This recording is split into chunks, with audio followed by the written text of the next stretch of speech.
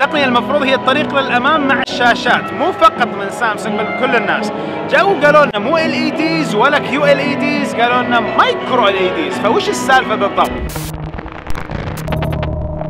السلام عليكم ورحمة الله وبركاته وياكم فيصل السيف.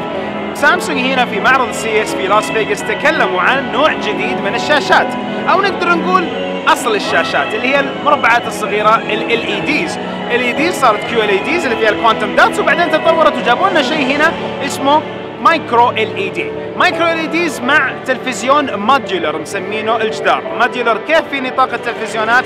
تجيب قطع تشبكهم مع بعض صارت شاشة أكبر. شاشة صغيرة شاشة صغيرة مع بعض شاشة أكبر. والشاشة اللي جايبينها هنا 146 إنش ونتكلم على دقة ال 4K وكلها modular فبالنسبة لسامسونج هذا هو الطريق للأمام. أول شيء وش فرق ال micro LED عن ال LED العادي؟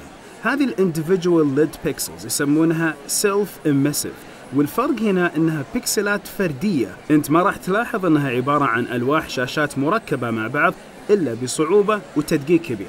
ومثل ما قلنا هذه micro LED مش OLED، والجميل فيها إنك تقوم بتركيبها حسب مساحة جدارك. لو تبي تعبي جدارك كامل ما عندك مشكلة تقدر تقريبا تبنيها من 32 إنش إلى 146 إنش.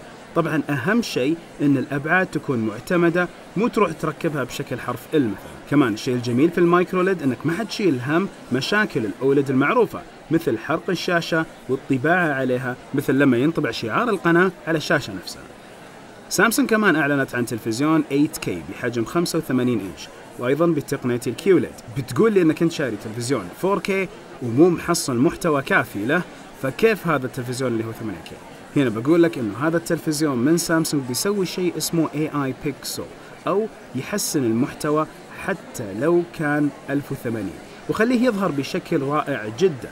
على هذا التلفزيون فأي محتوى عندك مهما كانت دقته بيكون في ترقية لهذا المحتوى بالتحليل الذكي ويتم معالجة الصورة حوالي 64 مرة بحيث تظهر لك بأفضل نتائج. وكل هذا بواسطة الذكاء الصناعي.